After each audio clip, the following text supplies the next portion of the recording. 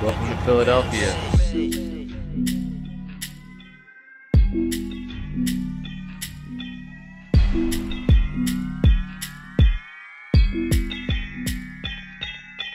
I'm scared as hell.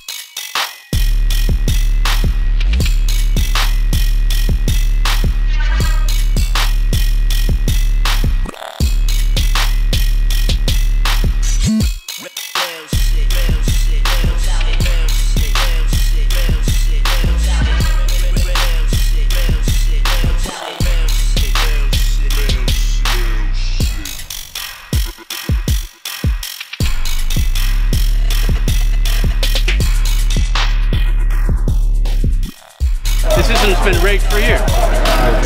Yeah.